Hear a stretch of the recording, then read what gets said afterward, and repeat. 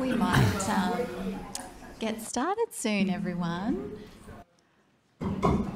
Uh, so, Yama, everyone, um, thank you all so much for joining us um, for this very special opportunity to hear Dr. Shane Ingrey and Ray Ingrey talk about the extraordinary plants of their country from knowledge passed down through the generations. This event is part of a series of events marking the eight days that the Endeavour was anchored at Kamay or uh, and it's also a celebration of the, the continuation of Dharawal uh, culture and knowledge today. For those of you who don't know me, uh, my name is Marika Duchinsky. I'm a Gomeroi and Manindangi woman, and I've newly joined the Chau Chak Wing Museum team as Curator Indigenous Heritage. So if you come to more events at the Chau Chak Wing Museum, you'll be seeing my face a lot more. Um, I'd like to acknowledge the traditional custodians of the land on which we meet, the Gadigal people, as well as the many Aboriginal clan groups who have honoured and cared for this place since the first sunrise. I pay my respects to elders past and present, and I extend that respect to all First Nations people who join us today also.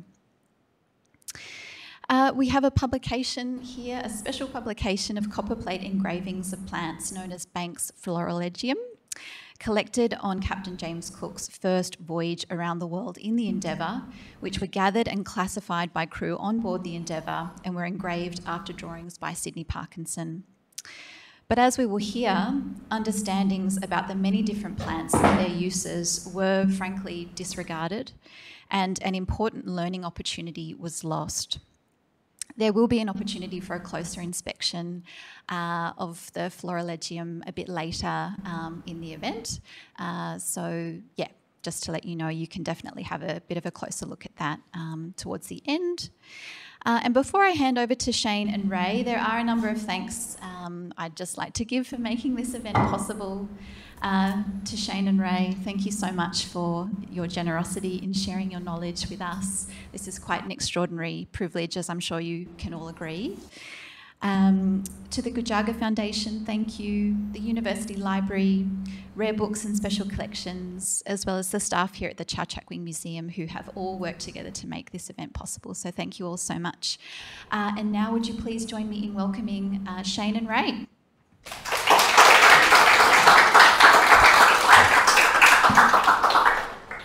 Thanks, Marika. Um, we thought we'll, over the next hour, just um, go through a number of things that relate to plants and obviously relate to the Endeavour uh, voyage. Um, but we wanted a setting so we can, not so formal. So we're going to have a bit of a yarn, what, what we call yarn, and, um, and we'll take you through some of the plants that were collected um, and observed uh, in the Endeavour voyage, um, the eight days at Kamay, um, and we'll also share some of the cultural knowledge that we have behind those plants and some of the, those meanings and the importance to us, um, which wasn't necessarily picked up not only during the Endeavour's short stay, but in the first few years of the colony as well. A lot of this knowledge was disregarded. Um, we're happy to take questions if they're burning questions throughout. Um, we're happy to take it, but um, we've got a roaming mic too for, for towards the end where we can, if you've got a question, please ask it as well. But if it's burning and you think you're going to forget it, then happy to, to take the questions throughout the presentation as well. Um, I'm going to bounce between myself and, and Shane um, and um, we'll take you on a bit of a journey how we look at not only plants but, but our country as well.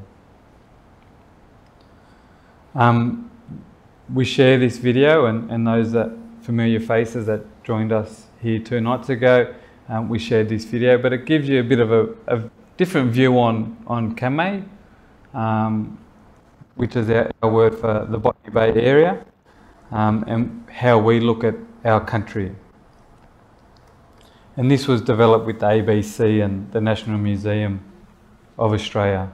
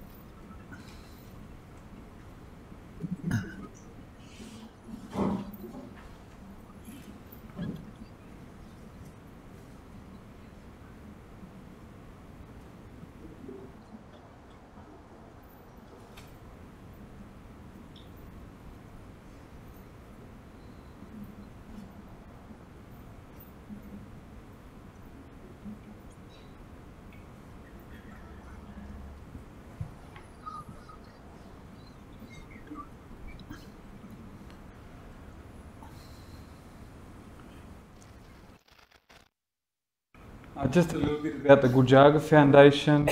Um, it was created in 2018. Um, our leaders within our community uh, did a forward thinking um, planning workshop with KPMG, a, a long-term plan for our community. One of them, the recommendations out of that session was um, we need to have a charitable arm for our community. We need to call it the Gujaga Foundation, and it needs to continue to run our language, culture, and project-based activities in our community.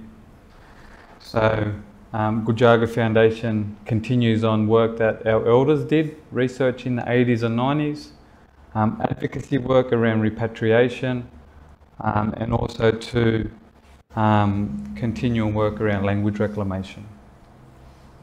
Gujaga in our language means child, child of, of any gender, and you can find that um, goes from the central coast all the way down to the south coast as well. Um, the La Perouse Aboriginal community is the community that we belong to. Um, the name today is a bit misleading because people just think it's bounded by the suburb La but that's not necessarily the case. La Perouse was the place, was the name given to our community when the government established it in the, the late, uh, the mid to late 1800s. Um, in 1883, with the, the, creation of the Aborigines Protection Act, uh, the board at the time um, placed us permanently and they shut down camps around Sydney Harbour and Botany Bay and over a period of time moved everybody out to La Perouse where we're still, still there today. Um, it was well known and documented throughout the 1800s that, that people living at La Perouse descended from the original inhabitants there. Um, and the narrative that we came from the south coast came with a, um, when the government tried to move us to places like Bree Brewarrina, Wallaga Lake, and our old people refused. And so a narrative changed to say, oh, they're from the south coast, so they should just move back there anyways. And that, that changed from the 1900s onwards, but evidence available to show that, that our community was well recognised in that late um, 1800s as being from there. And we have many families that can trace their ancestry back to to the arrival of Cook and the first fleet 18 years later. Our little research team, um, we have other researchers, voluntary researchers, community researchers within our, our team, but our little team was engaged by the National Museum of Australia to, to be able to tell our story our way. Our community's been advocating to tell our story our way. Um, in the past, people have tried to tell our story for us, but because our community, our elders in particular, were quite private, um, it created a bit of a, a void. Um, and the ongoing frustrations from our elders back then to now still exist because people are trying to tell our story for us and we're sort of buggering up a bit. And so we um, said we'll do that. And we're happy to work today, happy to work with many institutions and, and groups as long as we have the freedom to tell our story our way. And so we worked on the Kamay section, and part of that Kamay section was looking at the plants.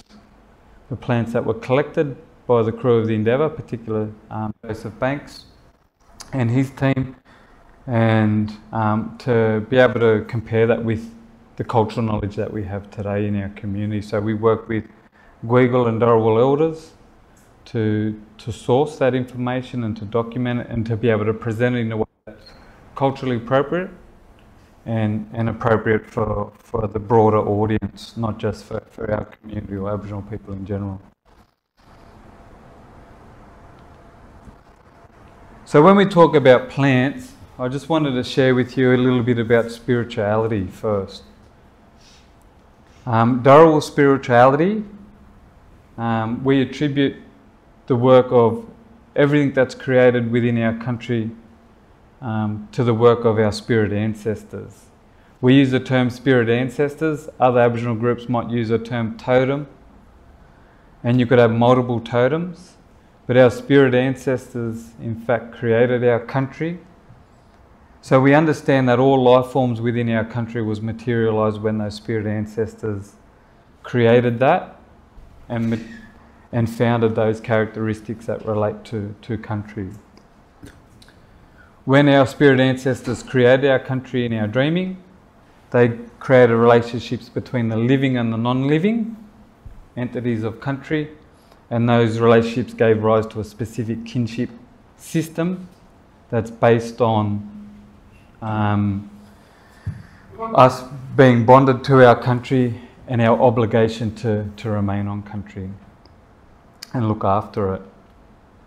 So for us, our kinship systems could be uh, in human form, but they could also be in spirit form.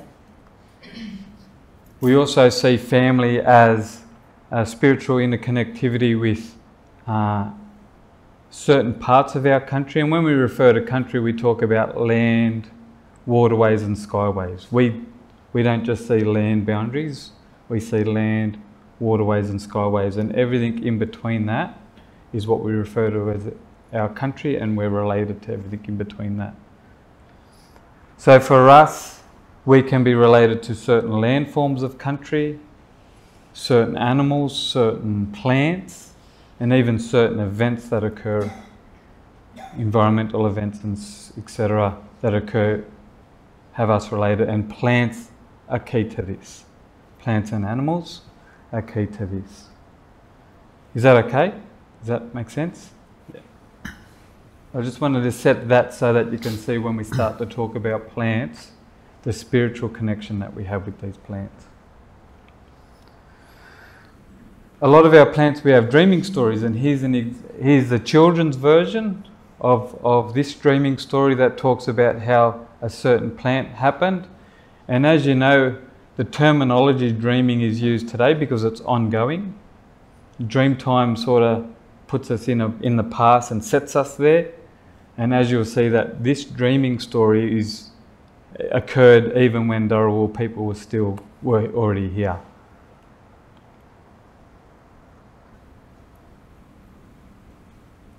Me and technology don't get along well, so I'm just hoping that it works. There we go.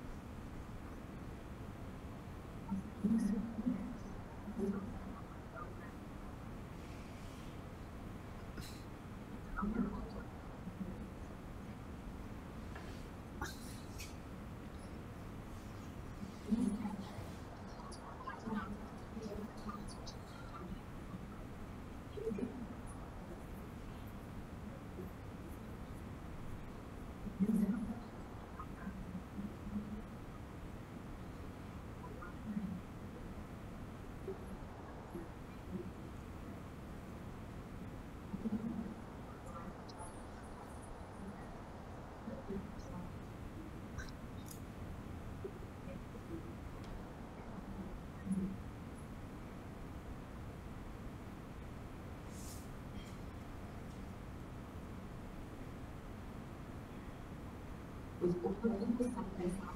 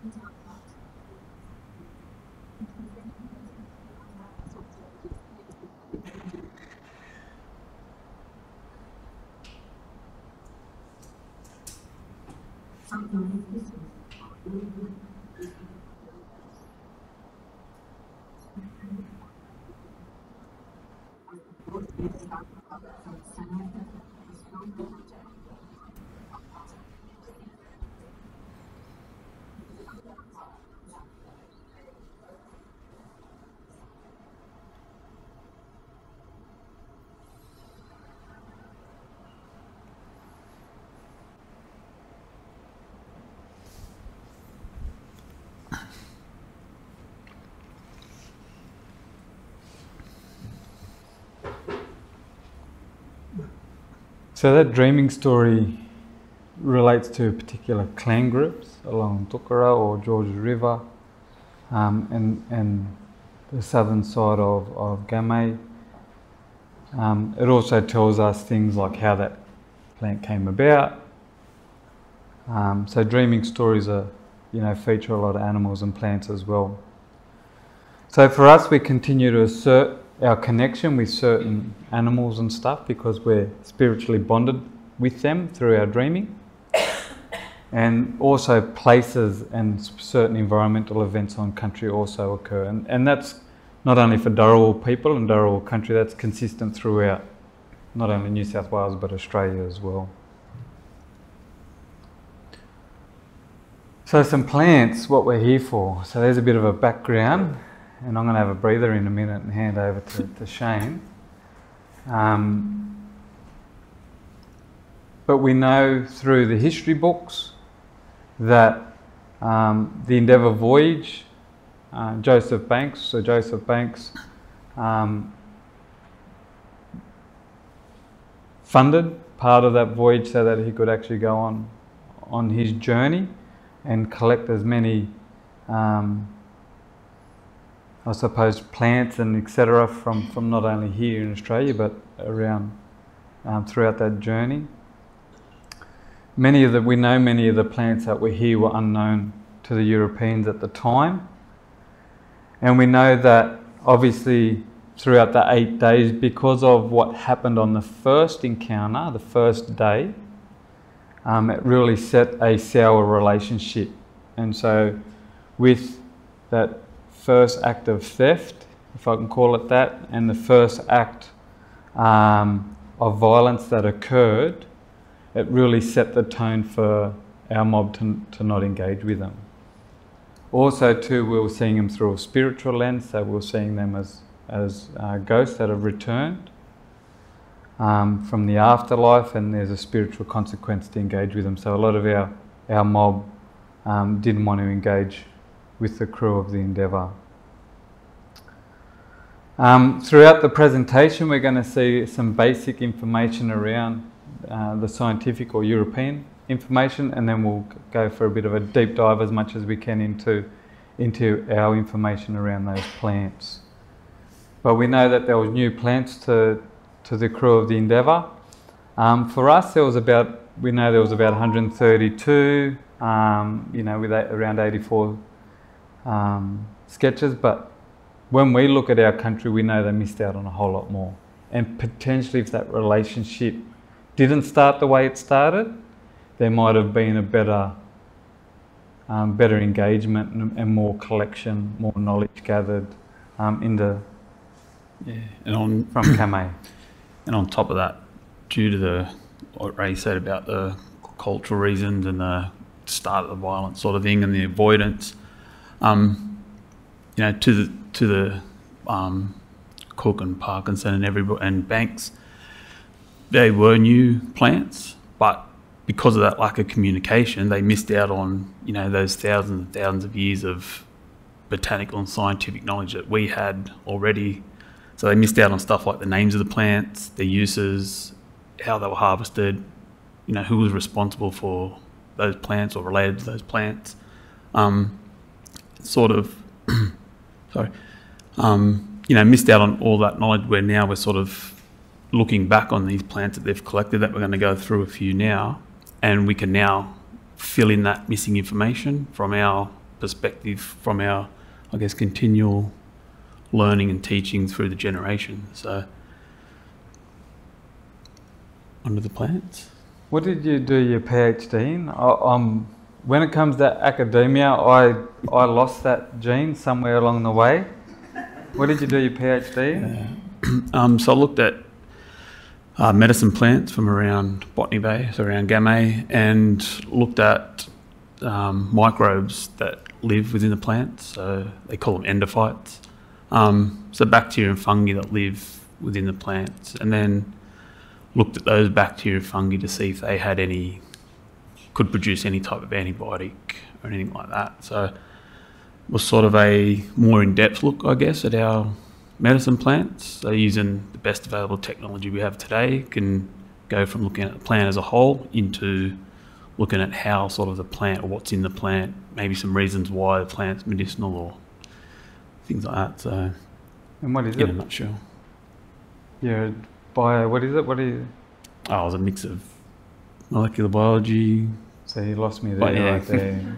Yeah, But it's uh, yeah.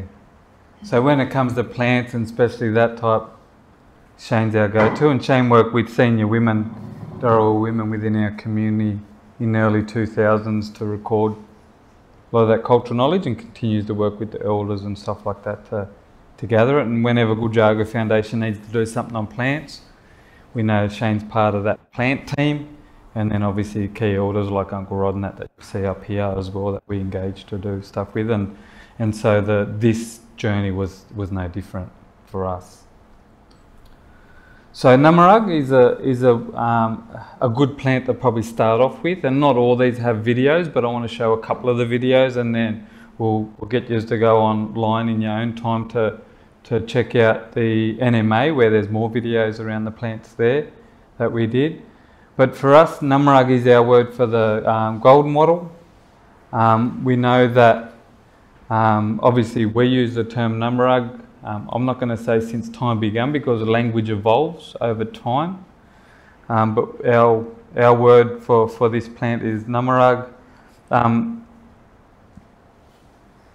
we know that the, the the term wattle came about because of the they were using this particular plant for dwellings in the early days of the of the colony, um, where they weave the, the branches and chuck some mud up, and that was the walls of, of some of those dwellings. Um, we won't go into too much detail, but each each plant that we put up, you'll see the distribution of it, where where it's found. Um, Parkinson's drawing, so he did sketches, and then later on they got finished off by, um, they say either himself or other people later on, um, done it in watercolour, etc. And then we've got some um, images that the NMA use, which come from the Australian National um, Botanic Gardens as well. I just thought I'll put that in there in case like someone comes back at me with copyright issues. I acknowledged everyone there.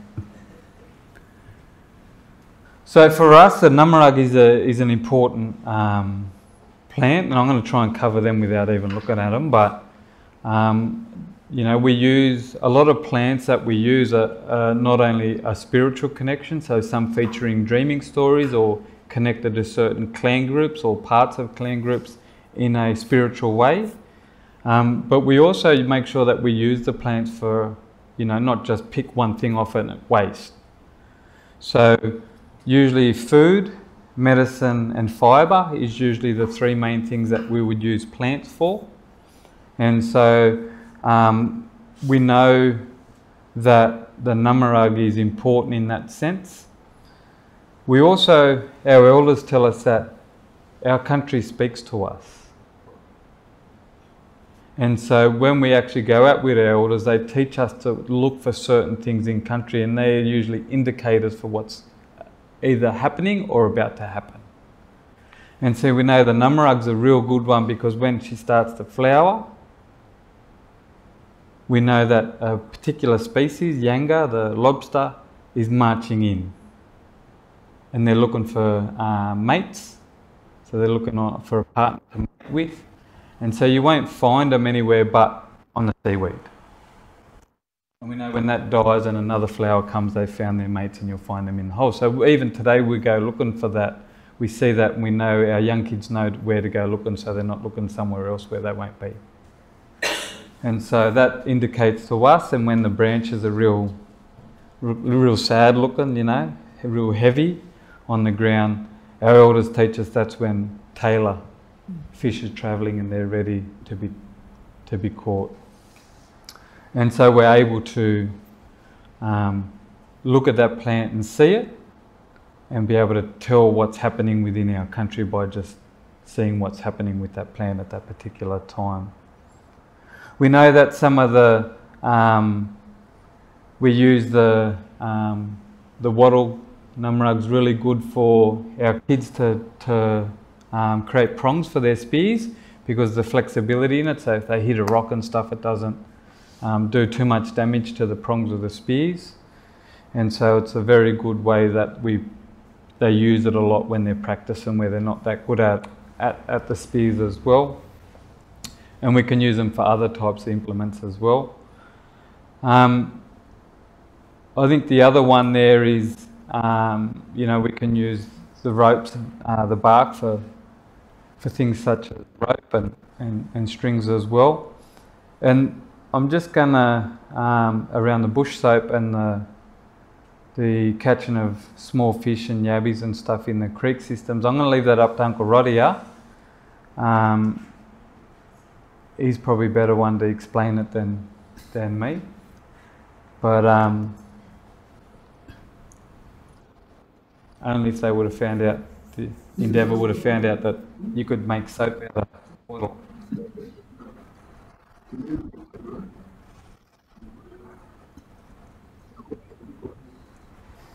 Mm-hmm.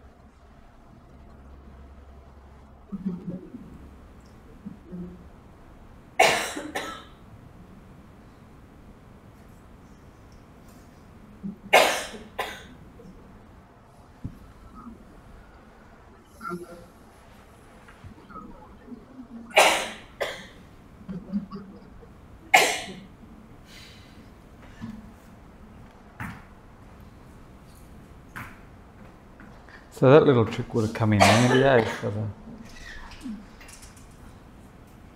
the... So if anyone's got a burning question that those plants ask, but other than that, we'll wait to the end. And hopefully this isn't like a too fast. If I'm moving too fast for people, just let me know too. So barnbarn or the coastal tea tree, um, obviously, you know, there's some information that the the crew took. We understand that the uh, crew of the Endeavour substituted this for a tea um, on their voyage, but that's not really um, something that's encouraged to do. Wouldn't drink it as tea. Um, but barnbarn is a is a uh, interesting one um, because they can be used as an uh, insect and small uh, reptile repellent as well for our people. Um, our old people say you we grab a bunch of the leaves, you heat it up over coals, not flames, but heat it up over coals, and you can rub that on sores and scratches and stuff, and it'll, it'll act as a um, it'll heal that up for the you know medicinal purposes, colds and flus and stuff like that. Um, we know when the, the flower's on, there's a particular shellfish that's ready to be collected, so it's time when we go out looking for pippies and when they're big and fat and juicy. Um, and obviously, if they're not manicured or they're not maintained, where they start to bend and stuff, we can make that's what we make our shelters from, the structure of our shelters. And you're able then to use, um, make rope from Grin Lee or Namarag and you're able to then bind it all up as well.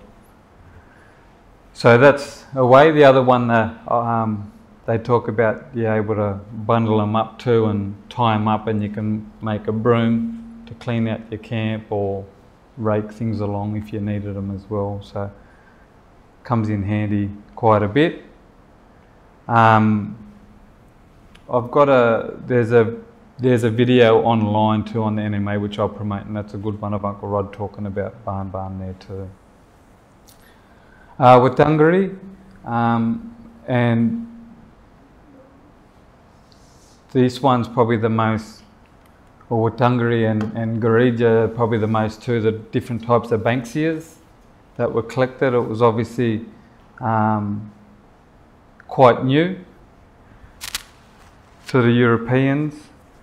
Um, the language names that we use are from Sydney Harbour down into the Illawarra, and we use the most common names that we use today. There's, we know plant species that are associated to women have a particular, women use a particular name for those plant species. Um, there might be a particular dreaming story that relates to that. So we use, we'll just use the most common one that's not so offensive to men or women or children or adults, etc. Uh, Watangri is, uh, um, tells us, um, it relates to a Dharawal dreaming story and it, that dreaming story tells us why Watangri looks the way that he does, um, rough skin, and why the flowers are sweet with the nectar as well. Um, we know that it's a good little spot to um, where because it attracts small birds and, and animals, so it's a good little spot to go hunting to gather some of those if you want a snack or you want something quick to eat. Um, we also we know when it's at the peak of its flowering, when it's nice and fluffy, and particularly when the mornings are cold, you can go and grab them and make a drink. And usually, I've seen a couple of our older people they'll just put the thing in the mouth and get the nectar out, or they would go and find you know some warm water or something and mix it up and use it as a bit of a sweet drink as well. And even today, we still use the cobs for um, keeping the fire like our hot beads, you know. You know, you buy hot beads from Bunnings and on your barbie. Yeah, well, we can use that. We use those cobs as well in, in that same fashion.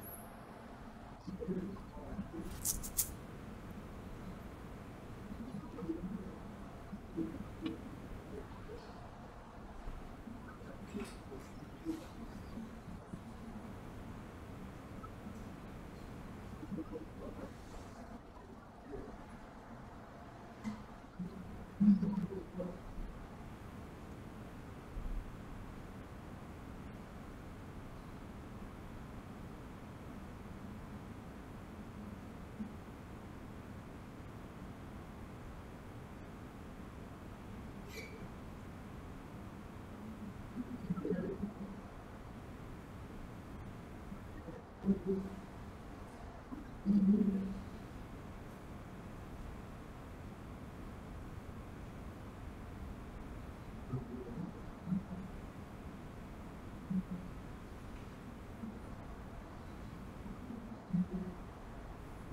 questo è il mio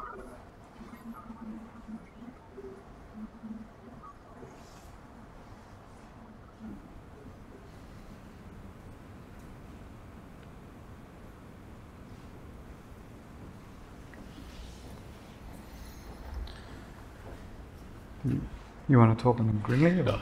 Yeah. Yes, the next one's Grinley. Um, I think common name for it's mat rush that you can find out. Um, these are used mainly today for landscaping. It's you know very easy to grow. You see them on the roadways. Usually cut them out a few months later because they overgrow onto the roads and stuff. So um, this is another multi-use plant. It is so. Um, I guess the first thing they use the leaves to for weaving. So for weaving baskets and bracelets and um, you know using as binding as well. Some of the um, tools. Um, if you see these plants, you can pull them. If you get down to the root, you can pull them out, and you'll have a fleshy white base on the bottom. You can once you get the dirt off it, you can chew on that, which um sort of a bit like celery, I guess. You can you know, a lot of water in there, and you can chew on it for a little bit as well, keep yourself occupied. Um, it's also used to help with stings, mainly ants and insect stings. Um, When they're When- green, eh? When they when the seeds are real green and Yeah. big, they'd uh, um, they'd harvest them, eh? yeah, yeah, Harvest them and then dry them out, husk them, so the bits fall off, and then what they grind it up into the make it into a flour-based flour type. based. And that was to make small dampers and stuff. Yeah, only little Yeah, biscuits like or little type. Johnny cake type things. And there's still young ones in our community, that, young women that know how to make that Mm. the old way. Yeah, so it's something that we want to continue to teach our young ones how to make some of those old old type foods. Yeah, and also, those plants, like with a lot of the other plants as well, you'll find small reptiles and small animals that you could, you know, that would frequent around those plants that you can go and catch and hunt if you're, you know, looking for something to eat as well. We know, um, Jude, and correct me if I'm I'm wrong, but on um, Saturday the weaving workshop, I don't know for who it's open. Is it open to? If people get in contact with us, we can let them know. Yeah. So they'll they'll go more into the weaving side and how the techniques and stuff like that, and they'll talk a bit about the Grinley plant on, on Saturday as well, which will be good. And because you've got OEP, they might go out and show show firsthand how to do it. Uh, Gurugha is another one, um, which is our you know bracken fern, our name for bracken fern. Um, again, on the NMA website, if you click on the sound that the, um, Uncle Rod's pronouncing all these words, so you can go on and practice if you want to learn the Dharawal names for these plants. Um, and obviously, it's uh, in in cooler type climates you'll find them, but a lot of wet areas, creek beds and stuff, we'll get a whole heap of these. Um, we know that uh, Gurugha for us, um, it's a very useful resource and it's used multiple ways. So um, we would, because we didn't waste things, you know, they would actually pull the plant out. Our old people would pull the plant out if they were setting up camp and they could use the ferns as a base. So they've got not sleeping in the dirt, so they'll cover it as using a, a base for the, their humpies. Um, if it's got the little fern part, the little new new fern that's while it's still rolled up, you'd pull that out and you'd rub it on sores or it's like our Stingose type treatment. Um, the the root part, they'll clean it up and roast it lightly and chew on it, and it's supposedly our older ones were telling us it's got a nutty taste. I refuse to eat it. Um, but they tell us that it's that nutty taste that it has with them. And then the um, there's a particular basket that gets made that helps the um, women and children carry shellfish, like crabs and stuff like that, so they don't bite you. And so they'll um, create these big baskets um, using vine and then wrap the whole plant within that. So the stem and the leaf, and that's used then to carry like crabs, so they won't fully kill them. Um, shellfish and stuff, so you'll be able to carry it from the cl- close coastline all the way up into the, you know, into the river systems, and that's why there's a lot of middens and stuff up in our river systems that have things that come from the coastline. because they would carry them up there to, to sit and eat them, etc. Um, but that one's a, a real important one as well, and um, it can grow quite plentiful, and then sometimes you go there and it's gone again because of the temperatures warmed up and that little bit of that environment has changed. So we always keep a little lookout for for that plant. And there's a video that screenshot, that photo comes from a video that of Uncle Rod explaining to his granddaughter Cody on how they make those baskets. So again, jump on the NMA website and have a look look at that. Um, this is probably one of the most important ones that we have in regards of plants. Um, we know that in the early days, the smaller ones, they were harvested, um, you know, called it cabbage on the inside, hence the cabbage tree palm. Um, and Banks talked about, you know, not very big ones, and they would go and, um, you know, they would harvest them, I suppose, for food. And looking for poles as well, but found it wasn't really good for using poles. Yeah. As like mast, ship mast and stuff like that. And another, I think it was the first hat in Australia when they came was made from the cab. They called it a cabbage tree hat or something, cabbage tree palm well, hat. Quite popular in the 1800s. Yeah, hats were made because So- obviously the sun. It's not Yeah. English weather over here, so And then I think it ended up, from what I remember, I think it was a hat that the sort of upper class person wore, and then it sort of faded out to sort of the street hooligans and stuff ended up wearing it, and then it sort of went out of fashion early on in the colony. So because of the um, the stems weren't necessarily good for construction. Shingle, I think they started to use it like shingles on the roofs and stuff like that. So these were, but as soon as you take that cabbage tree part, the cabbage part out of that middle, it kills the whole plant as well. So um, our people, why our people would have seen it is that for Dharawal people, this is our overarching spirit ancestor. So in other cultural groups, like on my Dungati side, our overarching spirit ancestor is the Gurigan or the praying mantis. So everyone that belongs to Dungati has a spiritual connection to the praying mantis. And that connects us in a spiritual way to other Gurigan or praying mantis people around Australia. And so for us, Dharawal people, our overarching spirit ancestor is Dharawal, the cabbage tree palm. So to see, you know, not only the things that happen on the first day, but throughout the eight days, this, and then obviously in the first part of the colony and being removed quite quickly, that would have been a bit of a, an upset and a shock to our people. So Dharawal today has a number of meanings. It's because it is our overarching spirit ancestor, everyone that belongs to that or to our cultural group identifies with being Dharawal. It's the language that we speak because it's related to our overarching spirit ancestor. And so today it's what we use as a collective. So we call ourselves Dharawal tribe, Dharawal nation, or Dharawal people in doing so. But it's a spiritual identity um, for our people. We're connected to it. It gives us that because we're connected through our dreaming um, and through a, life and death ceremony where the Dharawal palm features in that. And so, and it is part of our, our reincarnation journey as well, like our, our, um, our journey to the afterlife, if that makes sense. So we're heavily connected, and to see that then get you know, where you get harvested, rip all that middle out, dies, or to see it being chopped down for construction purposes in the early days of the colony. That would have been a, a, an upset to our people. Just like any other cultural group, if you go and harm something that their spirit ancestor, they'll be very upset as well.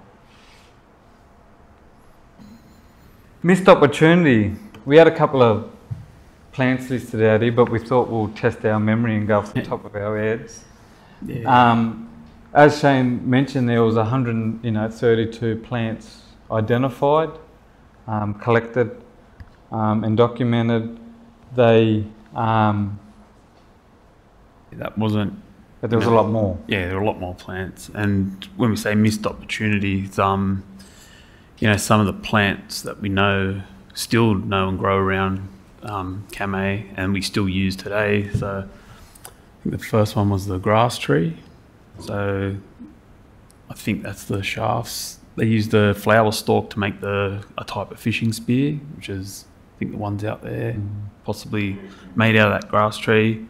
Um, the gum from the gu- the grass tree as well also has we think it's um, can be heated up and molded and it's waterproof. Um, you know, it's used to fix spearheads, axe heads, fix holes in canoes. Um, I think how we use it, you can reuse it. So if it bits fall off, you can reheat it, use it again. Where the gum from the eucalyptus trees and stuff are, will crack up once it dries. It cracks up and it's no good. Um, that plant also attracts birds. They swing off the when it's flowering. The birds will come and drink the nectar and swing off the top of them, make them easier to catch, and also the little marsupials and stuff as well. What was the one used for sore boils and sore teeth and? Oh yeah, so the hop bush. I forget the scientific name, but hop bush still grows around. So it's um, the root and leaves were used, chewed, help toothaches and stings, marine stings. Um, still grow in and around, especially around Kurnell in the national park. Um, native sarsaparilla can be chewed or boiled up to one of our medicines for um, our sort of like a good blood, cleanse your blood. Um, also, there's been some recent research on it to help out with diabetes as well. It shows the lower blood sugar levels and um, interesting the way we prepare it sort of mirrors how they came to find this um, compound. Forget what it was. That is the active compound around it. Um, what was the other one? Don't know. You're the expert now. I think it was the, a few like oh, the prickly currant bush. So there's a little bush that grows in the eastern Banksia scrub that's found around Lapa still. Um, and that was just a these little tiny red fruit that you collect, and it's just got like a like a sweet bitter type taste. I think it's high in vitamin C. Um, you know, would have been eaten just for general health. But I think the reason why a lot of these plants were missed is because a lot of these plants around um, Kamay flower and fruit in the late spring, early summer. So you know, they might not have seen the flowers or the fruit on these plants. They might have just blended in, like nothing stood out to them. So they sort of just, you know, walked past or walked over them, didn't collect any of them. And again, without that communication, didn't realise the importance. Um, you know, the diet, the medicinal importance of those plants. Mm-hmm. Um, also, the time limited. They're only here for eight days, so they pretty much stuck to the coastline. Didn't get to go in inland, where like a lot of the sort of rainforesty or the different um, plant communities, I guess, grew. So they got a lot of the coastal plant communities. Um, and then again, this, just the space they had on, so they collected 132 plants and they had to fit it somewhere. So I think they sort of cut themselves off to leave some room as well. So, yeah, sweet. Yeah. Um, I'll just plug the NMA. So if again, like if you want, there's a um, the website address if you want to go on and have a look at that knowing plants section. Um, that not only here for Kamay, but you know the mob up in uh, Gulgul country and elsewhere also showcase some of their plants and some missed opportunities that were happened um, throughout the, the voyage as well. So go and have a look at that and uh, it's a good resource as well for teaching, etc. Um, just want to leave you on, on this because plants weren't just about medicinal purposes, etc. As I mentioned, it's um, around making implements, and we're here for the spears as well. Um, so you'll see some of the plants, the different types of plants that we use to make spears. Um, it's a workshop that we do um, quite often with Uncle Rod Mason to teach our kids about not only making spears but using spears. and he'll talk. You'll hear him teaching the kids some of the Dharawal words for um, the different plants or parts of those plants that they're using to make their uh, gararas.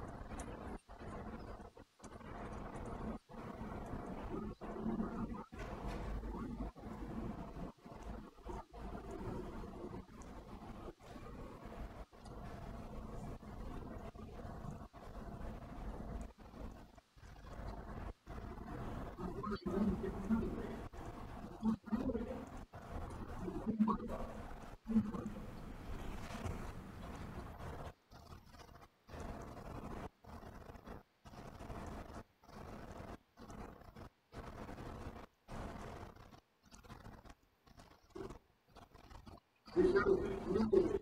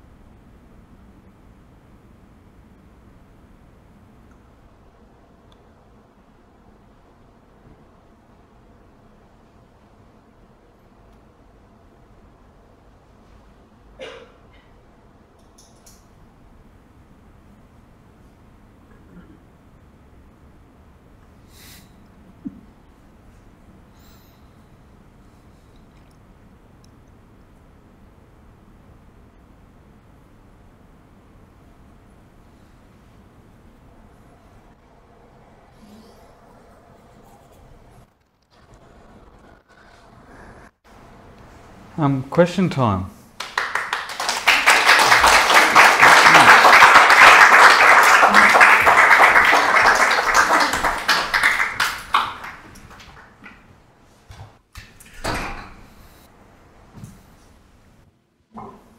Thank you both so much.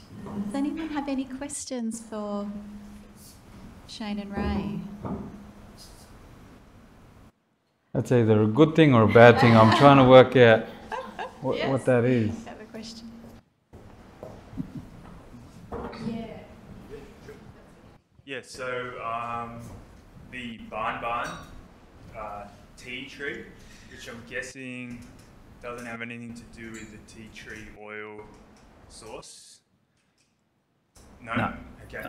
Um, yeah, because it's narrow distribution of the. I don't, I don't know anything about the tea tree oil plant, but so you mentioned that they use it as a replacement for tea, but it's not recommended The Endeavour crew, yeah. the Endeavour crew, right? Yeah. So I'm guessing out of the 132 plants that they collected, they chose that one for tea, perhaps because it had similar qualities. Perhaps uh, it gave some effect, like tea does, like caffeine does, maybe.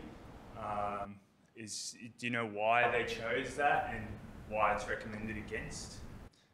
No, um, I you think they, talk yeah, I think they, um, one of the things they looked for was a substitute for tea. 'cause they'd been on the boat for so long, and obviously coming from Britain, they love their tea. So Yeah. that's why there's a lot of plants that are called tea tree, but different species. Because they, um, same with hop bush. I understand there's different species that they called the general named hop bush because they were looking for ways to make beer and other drinks that they just sort of generalised sort of thing. So I think it was a lot of experimenting, So more like Yeah. flavour thing then, and it could have been Probably more desperation by the sounds of it, eh? Want, wanting their tea that bad, they'll use anything. And what, why did you, yeah, why did you suggest is that it's not recommended? Um, well, in the in the project that we did, um, it they come to the conclusion, the experts, that it's not something that you know we don't want people to go out thinking they can just get coastal tea tree and make a drink out of it. Um, similar to the tea tree oil that you get, you shouldn't be drinking that either. So it's probably the same same thing, eh? Might make you crook. Ah, Yeah, yeah. I should have explained at the start that um, you know a lot of the plants before they're used are treated in different ways. So you know some will leach out the poison, like say for the burrawang, if the seeds they used to use to make dampers and breads, it's toxic if you pick it straight off the plant. But um, there were different ways they'd leach the poison out. So they'd leave it in running fresh water or bury it for a certain amount of time till the toxins were gone, and then um, then they would use it. Um, I know in the early days of colony, they saw blackfellas picking these things, and a few people just tried to make it, and obviously got really sick. So um, yeah, it's sort of just a general warning. It's not recommended unless you go out with someone or somebody shows you how to, you know, Thought, yeah. prep it properly so you don't get sick, and then come back and find Raymond and say, "You said this was a tea substitute." Won't find me. No, So, thanks. yeah. no, no worries.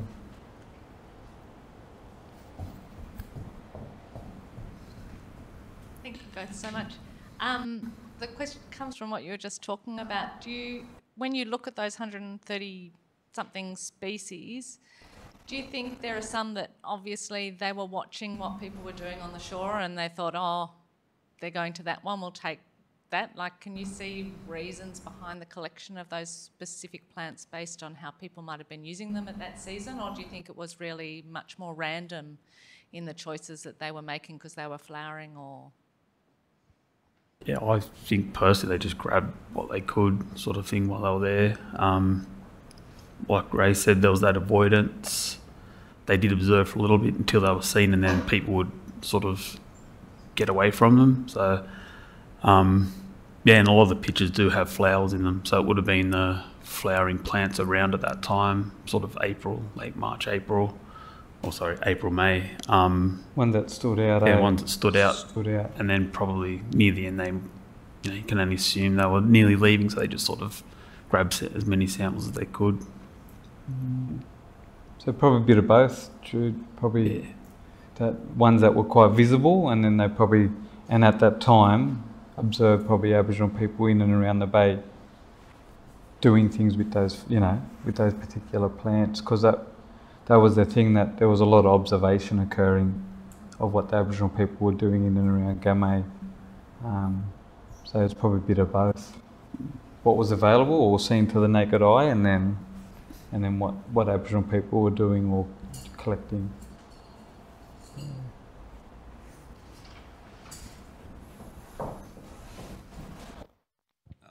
Thank you very much for that talk. That was fantastic. Um, I was really blown away by the story of the praying mantis. So I was just wondering if you do a sequel on extraordinary animals. Um, who are the stars of the show going to be? Yeah, we um, yeah we got a few few around the place. Um, a lot of a lot of the spiritual connection that we have with animals, um, similar to plants, but animals um, in Dharawal country. Um, we have dreaming stories where a lot of animals were in human form, and when they um, in that dreaming story, they turned into the animals as we know it. So when we look at them, it explains why they have human characteristics or why their behaviors are the way they are. Um, and our dreaming story informs us why that's the case. Yeah, so we probably could do one on, on animals, definitely.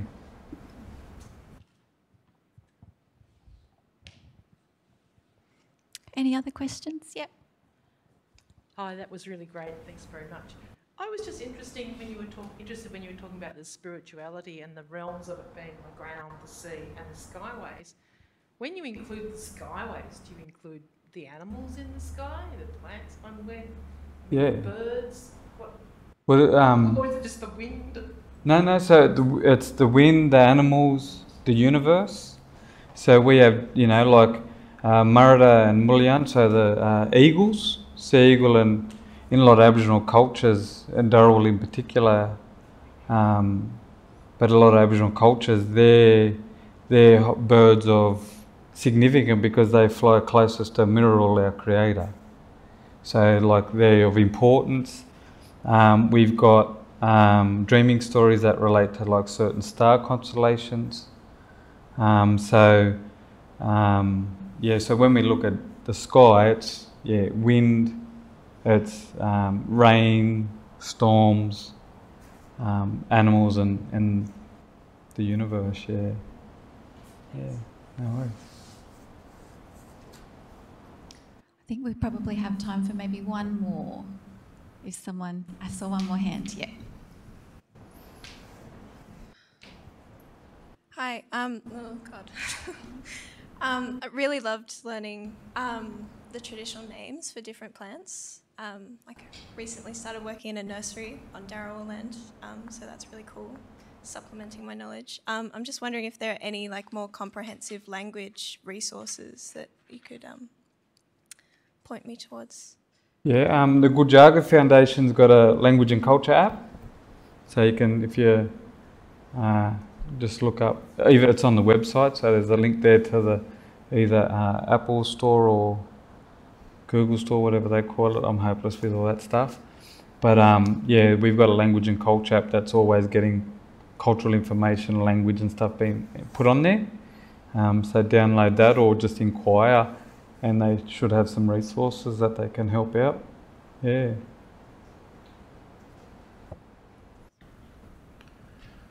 Okay, well, thank you both so much. No. Um, my head is spinning from yeah everything I've just learned about some of the amazing, or should I say, extraordinary plants um, of this country, this place where we all live. I think it's um, yeah, it just blows my mind to think of all the things that that I don't know about the plants that are around me, and I've lived here for so long. Well, I actually lived down on the south coast, but also spent many years living in Sydney, and it's just yeah it's amazing what we don't know. So thank you both so much for sharing your knowledge with us. And I hope one day I also meet Uncle Rod because I'd love to thank him too for yeah sharing everything that he does. Um, I especially love that beautiful video of him with the boys, teaching them um, how to spear. Yeah, it's just beautiful.